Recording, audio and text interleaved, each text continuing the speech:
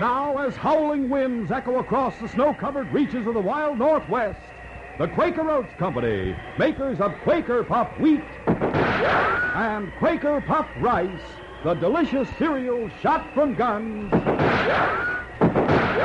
in cooperation with the Mutual Broadcasting System, present by special recording Sergeant Preston of the Yukon. It's Yukon King, swiftest and strongest lead dog of the Northwest, breaking the trail for Sergeant Preston of the Northwest Mounted Police in his relentless pursuit of lawbreakers. And King, on you, Husky! Gold, gold discovered in the Yukon. A stampede to the Klondike in the wild race for riches. Back to the days of the gold rush. And the adventures of Sergeant Preston and his wonder dog, Yukon King, as they meet the challenge of the Yukon.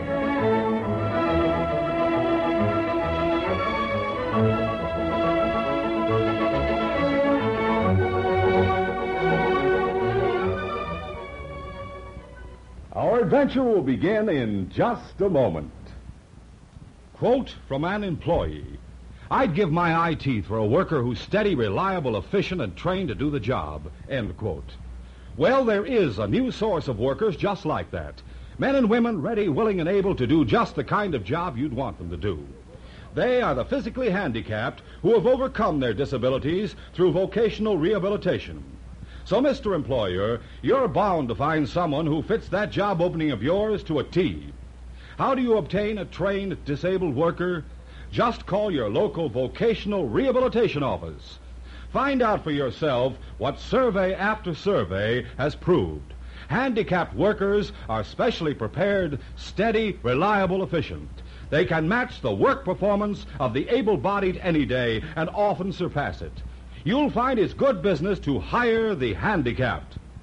This message is brought to you as a public service.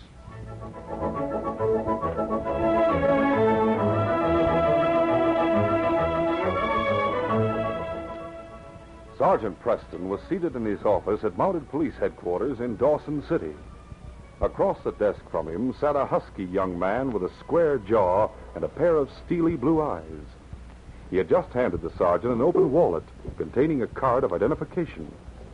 Sergeant Preston read the name on the card. Detective Sergeant Stephen Belford, San Francisco Police. The name Belford's familiar. Any relation to Tom Belford? He was my brother. Oh, is that why you came to the Yukon Territory? That's right, Sergeant. I intend to find the person who murdered him. I see. I suppose you don't like the idea of my butting in this way? Well, not at all, Sergeant. I can understand how you feel. Besides, we're just as interested in catching your brother's murderer as you are. If there's any way we can cooperate, we'll be glad to. Thanks, Sergeant. I'm glad you're taking that attitude. to tell you the truth, I halfway expected the mounted police to give me the cold shoulder. Oh, why should we? I don't know. Maybe it's that highfalutin looking uniform you all wear. I suppose you're used to blue coats instead of red ones. That's right. Uh, what's the idea of that gold braid that's looped around your neck? You mean this braided cord? Yeah, the end of it is stuck in your pocket. Something attached to it? My police whistle. It was presented to me by the people of the town for capturing two criminals. It's something to be mighty proud of, Sergeant. Wouldn't mind having one myself. It's been very useful to me on a number of occasions, but uh, getting back to the reasons you're coming here, Well, first of all, I'd like to have all the facts on my brother's death. there's not much to tell. But you know, he had a claim near a mining camp called Gold Center. On the morning of November the 2nd, he left his cabin and started out with a, gold, a load of gold dust, apparently intending to take it to the bank here in Dawson. That night, sometime after making camp, he was robbed and shot to death. Any clues to go on? Well, although we have nothing in the way of proof, we do have a suspicion as to who did it. Oh? Let's hear it. Your brother's murder is one of a number of crimes that have occurred recently near Gold Center. There's a strong likelihood that they've all been committed by the same gang. A gang, huh? What do you know about them? Well, frankly, Sergeant, not much. One member of the gang was captured during their last holdup, but so far we haven't been able to make him talk. Maybe I could change his mind. I doubt it.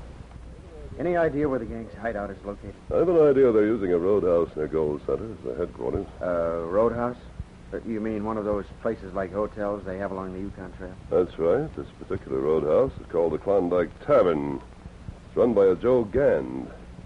He may be the brains behind the gang, but there again, it's just a suspicion. Looks to me like I'd better go out and have a talk with this fellow again. Perhaps there's a better way to go about it than that. Meaning what, Sergeant? As I told you a moment ago, one member of the gang's been captured. His name's Stag Lisbon. We're holding him in jail here in Dawson. So? If you could gain Stag's confidence, it might be possible for you to get some evidence against the gang. Ah. What's your plan? Well, here's what I have in mind, Sergeant. Suppose I arrange to have you placed in the same cell with Stag. You'll be posing as a tough sourdough. The following day, at the Dawson City Jail, Steve Belford was escorted into the cell block by Sergeant Preston and the Mountie jailer. Steve was dressed in the rough clothes of a Yukon sourdough. Cells are all occupied, Sergeant. We'll have to put him in here with Stag Lisburn. That's all right. They should make good cellmates. They're two of a kind. Unlock the cell, Bud. Right. All right, Baker. Inside. Better keep an eye on him, Bob. He's a tricky customer. Don't worry, Sergeant. He'll have a hard time breaking out of here. Stag Lisburn was a heavy-set, black-mustached individual. He eyed his new cellmate for several moments, till the two Mounties were out of earshot.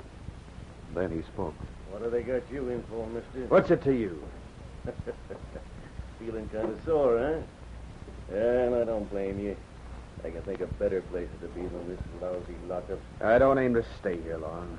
What are you talking about? You're kind of a nosy gent, aren't you? Yeah, and you're kind of a tough talking gent, too. You don't like the way I talk? Stop asking so many questions. Steve continued to behave in a sullen fashion, but he knew that Stag's curiosity had been aroused. And gradually, he allowed himself to be drawn into conversation. Maybe now that you've loosened up a bit, you won't mind telling me what you're in for. Yeah, I held up an express driver a couple of miles south of town. Yeah, what happened? Redcoat caught up with me. And knocked him out and made a getaway while he was bringing me back to Dawson. Yeah, so that's what Preston meant when he said you were a tricky customer. yeah. Not that the getaway did much good. Preston nailed me the next day down near the Indian River. Yeah, that guy Preston's bad medicine, all right. But I still don't savvy what you meant when you said you don't aim to stay here long. I meant just what I said. You've got a scheme for busting out of here, let's hear it. Maybe I can help you. Don't worry, I can handle it myself. If you do bust out of here, don't ever think the Mounties won't make things hot for you. You'll need some place to lie low. So? Maybe I can fix you up with a hideout. Take a look out the door and see if the jailer's prowling around. Okay. Oh, it's all right. Coast is clear. What's the deal? Wait till I pull up my pant leg and I'll show you. Holy mackerel. Derringer strapped to your leg. Yeah. My little old ace in the hole. Later on tonight, this gun is going to talk our way out of jail for us. Shortly after midnight, the jailer made a round of inspection. As he approached down the corridor, Stag rattled the cell door to attract his attention. Hey, Mountie! Steve was standing just out of sight on one side of the door. What's the matter with you, Lisburn? Yeah, something's wrong with my cellmate. Think he's sick or something. Yeah, and I suppose you want me to come in there and see what's the matter with him. You better think up a new trick, Lisburn. Hey, where is that cellmate of yours? Right here, Redcoat. A gun. Yeah, and you better start reaching before it goes off. Now, wait a minute, Baker. You're making a big mistake. Shut up and do like I say or I'll plug it. All right, Stag, reach through, take his keys. Right. Stag took the jailer's keys and unlocked the cell door. Then Steve forced the jailer into the cell, All right, held him covered while Stag tied and gagged him with strips of bedding. Oh, still there. I... Yeah. I reckon that ought to hold him for a while. Come on, let's get out of here. Yeah. So long, Mountie. Give our regards to Sergeant Preston in the morning. Early the following morning, Stag and Steve arrived at the Klondike Tavern. The roadhouse was already astir with a few early morning travelers who paid no attention to the two men who had just entered. Stag led the way to an office marked private and knocked on the door. Come in. Stag. yeah, boy. In the flesh. How in blazes did you get here? Busted out of jail last night, thanks to my pal here. Oh, he? His name's Steve Baker. They tossed him in the same cell with me. But they didn't know he was packing an ace in the hole. What do you mean? he had a derringer strapped to his leg. Steve, Steve, I'd, I'd like you to meet my boss, Joe Gann. Howdy, Oh, Joe. Stag said maybe you could fix me up with a place to hide out. Yeah, I reckon we can do that. And maybe if you're looking for employment, we can do something about that, too. I'm willing to listen. What's your proposition?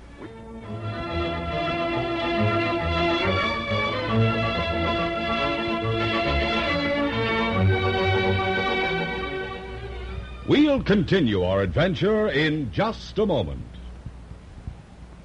He did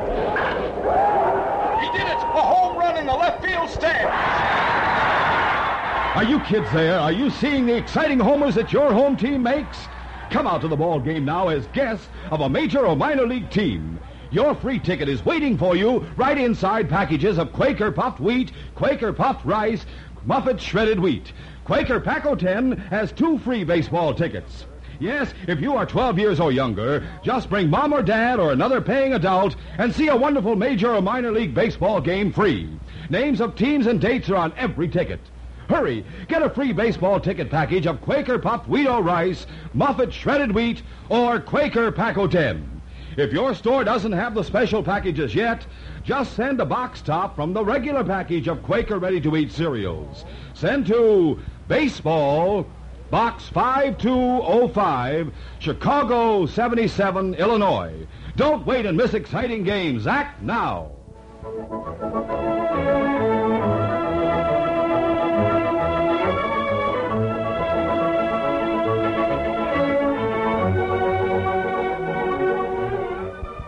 Now to continue. On the morning after their escape from jail, Stag Lisburn and Steve arrived at a roadhouse near Gold Center called the Klondike Tavern, which was run by a man named Joe Gand. Gand agreed to hide Steve from the law and invited him to join the gang. Right now, we'll introduce Steve to Whitey and Dakota. Come on. Pulling aside a bearskin rug in one corner of his office, Joe Gand opened a trapdoor and led the way down a short flight of steps into a subterranean room where two rough-looking men were seated at a table playing cards. They looked up from their game and exclaimed in surprise as they caught sight of Stag. Well, flash my eyes if it isn't Stag. Don't tell me you busted out of jail. yeah, they sure didn't turn me loose of their own free will. this gent here was Stag's cellmate. They busted out together. His name's Steve Baker. Steve, I'd like to have you meet these two boys here. This one here is Dakota. What are they, Steve? Glad to know you. The other one's Whitey. He's my right-hand man. Hi, Whitey. Howdy. Hey, you know, your face looks kind of familiar, Baker. Yeah, I was thinking that myself. Ever been around this part of the territory before? No, I just came down from Alaska about a week ago. Well, it must be someone else I'm thinking about. A boy Steve wants to join the gang. I'm thinking he may come in handy on that job tomorrow night. Yeah, we can use another man. In the meantime, Steve, make yourself right at home. This is one place the law will never find you. Later that day, Sergeant Preston arrived at the roadhouse. He had trailed Stag Lisburn and Steve from the jail and had decided on the bold expedient of going straight to Joe Gand. His motive was partly to explain his presence in the vicinity and partly to make the jailbreak seem even more convincing. Okay. Come on, fella. Joe Gand greeted the sergeant as he entered. Well, Sergeant Preston, what are you doing out this way? Failing two escaped prisoners. Escape prisoners. That's right, Joe. They jail last night in Dawson. I trailed them in this direction, but King lost their scent a few miles east of here. Oh, that's tough luck. I'm wondering if they've shown up here at the roadhouse. What do they look like? One's a big fellow with a black mustache named Stag Lisbon. Stag Lisbon? Isn't that the fellow who was captured and holed up near Gold Center a few weeks back? That's the man. Apparently he's heading back to his old stamping grounds. And with him is fair-haired, husky, rather youngish, oh, about 31 or 32. Oh, I'm sorry, but they haven't shown up here, Sergeant. Well, keep your eyes open, Joe. If you do see them, let me know immediately. I'll be staying at the constable's cabin in Gold Center. Gonna stick around for a while? Yes, until I get a lead on the two men I'm looking for. Well, if I see them, I'll sure let you know. All right, Joe, thanks. Come along. Oh, oh, oh. Joe Gand waited until the sergeant was gone. Then he went into his office, opened the trap door and descended into the underground room where Steve and the three crooks were playing cards. What's the matter, boy? Something wrong? I just had a visit from Sergeant Preston. Sergeant now, wait, keep your shirts on. I got rid of him. What did he want? He was looking for you and Baker. Said he trailed you from Dawson, but his dog lost the scent a couple of miles east of here. Ah, that was a lucky break. Maybe and maybe not. What do you mean? He's aiming to put up at the constable's cabin in Gold Center for the next couple of days. While he tries to pick up a lead on you. And that's apt to ruin things for us tomorrow night. You mean we may have to call it off? I don't know yet. Be plenty risky as long as Preston and that dog of his are in Gold Center. Why not get rid of him? What's that? just how it would do that. I'll handle the job if you make it worth my while. I've got a score to settle with that redcoat. That might be possible at that. I happen to know the constable's out on patrol. He won't be back till tomorrow. How much is it worth to you? Well, say an extra thousand, besides your share of the boodle tomorrow night. Just leave it to me, Gan. Just leave it to me. That night, Steve and Whitey approached the constable's cabin under cover of darkness. The cabin was located in an isolated spot on the edge of town. Two men hid in a grove of trees a few yards away. Yeah, he's there, all right. I can see him through the window. Yeah. Watch out for the dog. He's trained to go for gunmen. I'll cover Preston as soon as he opens the door and tell him to order the dog back. And I'll make him tie the mud up. After which, I'll plug him one at a time. Smart idea. Meantime, you go back and keep a lookout on the trail leading into town. See anyone coming, hightail it back to cabin and warn me. Right. Okay, get going. I'll go and knock on the door. Steve waited until Whitey had taken up his lookout position some distance away. Then he left the grove of trees and walked up to the front door of the cabin. Steve. Get your hands up and back into the cabin. Hey, I'll quiet, boy. explain when we get inside. What's the idea? I had to put on an act. I'm supposed to kill you and King. You mean someone else is outside? Yeah, a member of the gang. Watching us through the window? No, he can't see us now that we're inside. I sent him back to keep a lookout on the trail leading into town. Tell me what's happened since you broke jail. Well, in the first place, Lisburn took me to the Klondike Tavern. Yes? You were right about Gand. He's the leader of the gang. He invited me to join up. You learned anything about your brother's murder? No, not yet, Sergeant. But I did learn they're planning to pull some kind of a job tomorrow night. Any idea of what it will be? Uh, Gand is cagey, Sergeant. He's not going to tell me till just before they pull it off. Now, what about this business of killing me? Gand was worried that you and King might trail us back to the ra- roadhouse after we pull the job. So I offered to kill you. I figured it would throw them off guard and give me a chance to communicate with you. Good work. When Constable Allen gets back tomorrow, I'll have him spread the news around town. All right. Now I'm going to fire two shots. The first shot is supposed to be for you, and the second for King. Go ahead. Go ahead. Now, put out the lamp, then I'll leave. Before you go, you better take my whistle. Here. You can tell the gang you took it because it's made of gold. What's the idea? Tomorrow night, the constable and I will keep a watch on the roadhouse and trail you as soon as the gang starts out. What we're after is proof of criminal intent, so a jury will convict them. Blow the whistle at the exact moment when we can catch them red-handed. If anything goes wrong beforehand, blow two short blasts as a danger signal. Right. Now I'll get going. The following day, Joe Gann sent Whitey into town to pick up news of the murder. He stopped off at the cafe and soon got into conversation with a sourdough standing next to him at the bar. I suppose you heard about Sergeant Preston being murdered last night. Yeah, what I was talking about. Constable Allen found his body this morning when he got back from patrol. The sergeant's dog was killed, too. So I heard. I wonder who did it. If you ask me, it's the work of that gang. They killed a pal of mine not so long ago. Oh? Who was that? A miner named Tom Belford. I remember that. He was robbed and shot to death, wasn't he? That's right. Too bad his brother Steve isn't up here in the territory. Hey, wait a minute. You say you had a brother named Steve? Yeah, Steve Belford. He's a police detective down in Frisco, and he's a plenty smart one, too. What? Why, what's the matter? Oh, uh, nothing. It just happens I uh, knew a detective down in Frisco by that name. I wonder if it's the same guy. Probably so. You know him personally? Sure, I knew both Tom and Steve back in the States. What does Steve look like? A lot like Tom. He's fair-haired, big husky build. Must be somewhere in his early 30s. Has he got a scar across the back of his right hand? Yeah, that's right.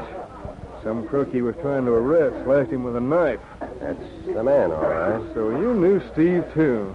By thunder, it's a small world. Yeah, it sure is.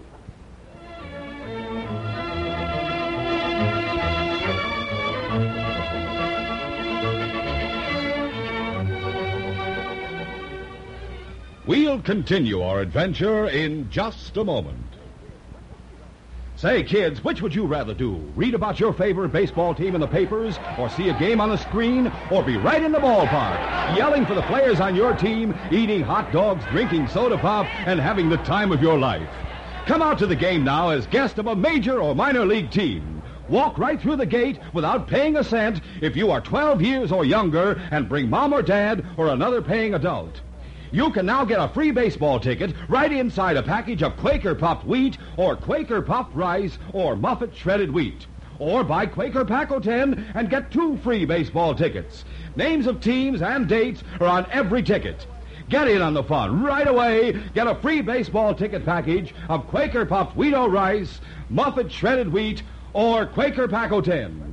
If your store doesn't have the special packages yet, just send the box top from the regular packages of these same cereals to Baseball Box 5205, Chicago 77, Illinois.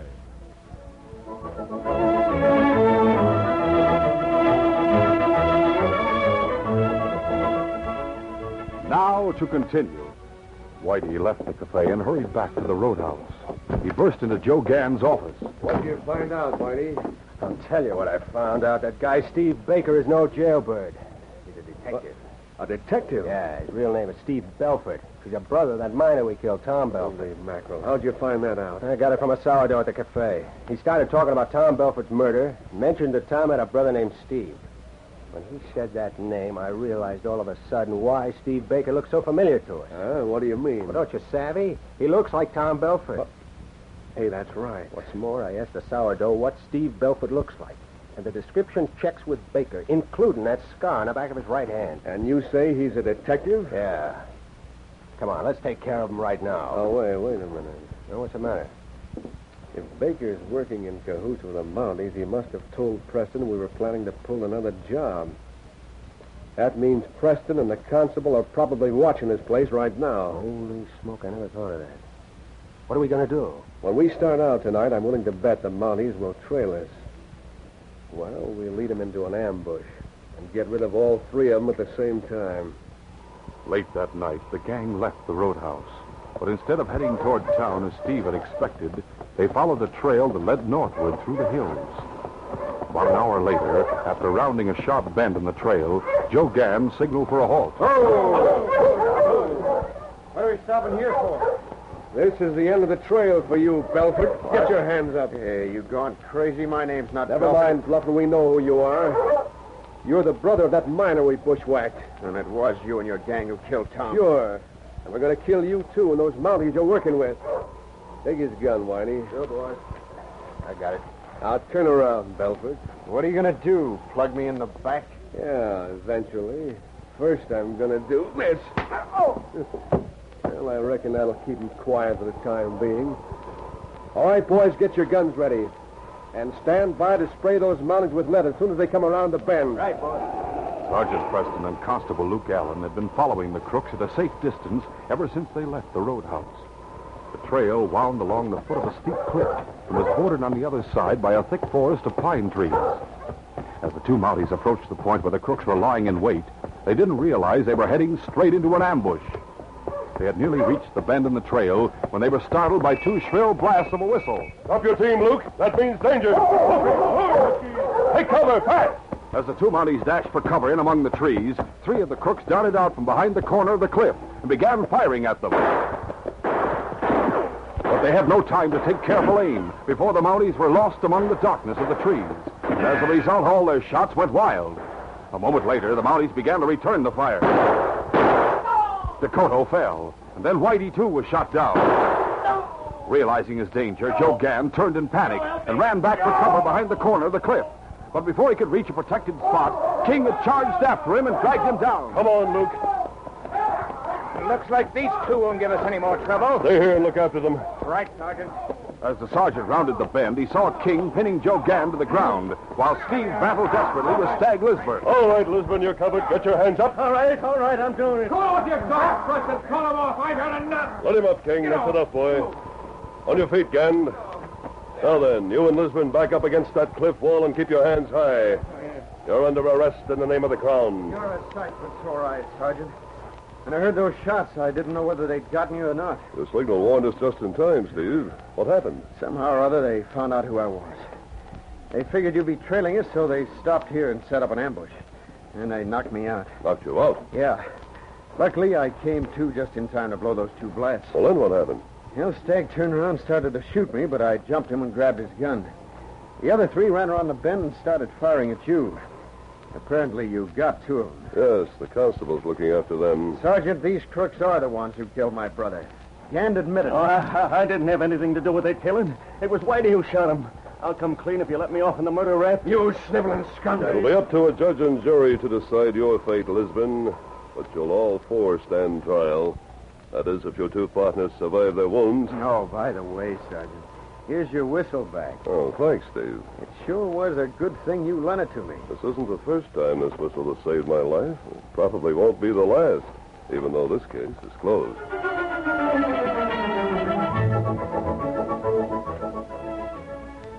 We'll return in just a moment with a word about our next exciting adventure. Weekends are wonderful when you stay tuned to Mutual. Gay entertainment to suit every member of your family puts bright sparkle into your days of fun and relaxation. For anyone who likes quiz games, and that includes just about everyone, there's the kind you like where you can sit back and see how close the contestants come to the answer. There's music, too, of course, on Mutual's weekend schedule. Lowbrow or highbrow, you can take your choice. From full scale productions of your favorite operas and operettas with all star singing and dramatic casts to swing your partner sessions of real old fashioned barn dance jamboree, you can take your choice on Mutual.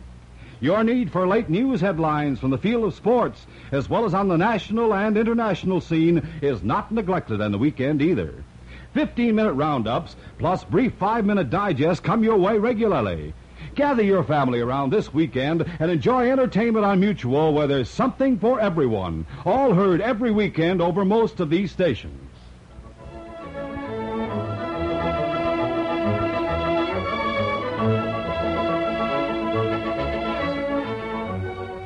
Sergeant Preston stands beside the doctor as he probes for the bullet in the chest of a wounded man.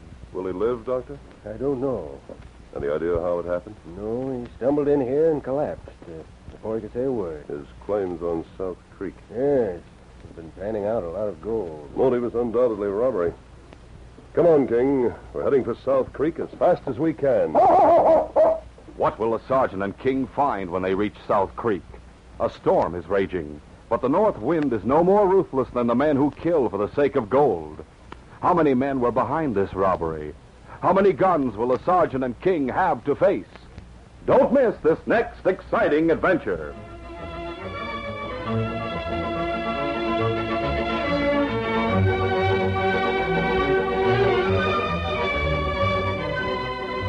These Sergeant Preston of the Yukon Adventures are brought to you every Monday through Friday at this time by the Quaker Oats Company, makers of Quaker Pop Wheat and Quaker Pop Rice, the delicious cereals shot from guns.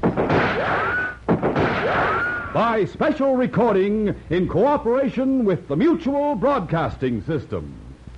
They are a copyrighted feature of Sergeant Preston of the Yukon Incorporated. Created by George W. Trendle, produced by Trendle Campbell Meurer Incorporated, and directed by Fred Flowerday. The part of Sergeant Preston is played by Paul Sutton.